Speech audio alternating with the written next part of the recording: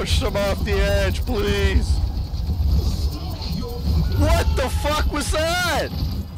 What just happened? He tried to alt and pull them off the edge.